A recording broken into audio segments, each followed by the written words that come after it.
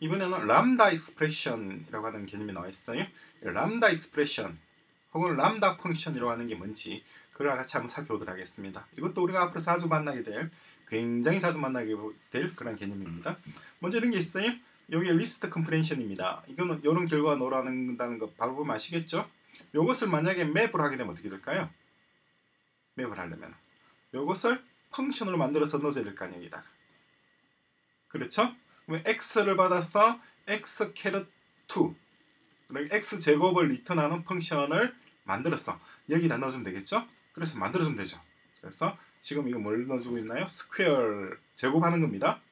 어, 제곱하는 function을 만들어서 어, 그 function 이름이 square예요. 그 square를 여기다 넣어주면은 map하면 결과가 똑같이 나오겠죠, 그죠? 그런데 우리가 이걸 한 번만 쓰고 말 거란 말이에요.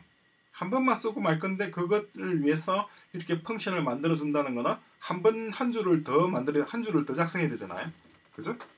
이것은 조금 좀 한 번만 쓰고 말 function에 굳이 이름을 붙여서 어, 우리가 만들 필요 있겠느냐? 이름 붙이지 않고도 그냥 어, 데이터처럼 그죠? 데이터처럼 function을 쓸 수 있는 방법이 없을까 해서 넣은 것이 lambda expression입니다. 이렇게 돼요. argument를 가지고 argument 뭐 가지고 몇 개를 argument를 가진 다음에 function 기호가 있죠. 그런 다음에 return expression 되죠. 그런데 앞에 backslash가 있습니다. 그렇죠? 어. 어, 이걸 backslash를 람다라고 하는 그리스어 글자랑 기준 비슷하게 생겼다라고 해서 좀 비슷하잖아요. 옆으로 누워 있는 게.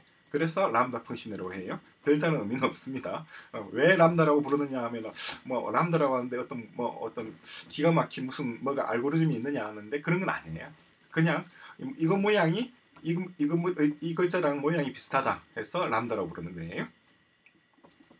자, 그래서 어떻게 하느냐니까 맵에다가 바로 펑션을 마치 데이터처럼 그죠? 아규먼트로서 첫 번째 아규먼트로 펑션 그 자체를 그냥 넣어버리는 거예요. 그죠? 이름도 없어요. 이름 없는 펑션. 이것을 람다 펑션입니다. 그러면 결과가 이렇게 나오게 되죠. 이렇게 이런 식의 람다 펑션도 가능하죠. 그러면은 얘가 처음에 얘기 적용되고 다음에 얘가 두 번째로 얘기 적용되고 세 번째 적용되고 해서 결과적으로 이런 값이 나오게 됩니다. 그렇죠?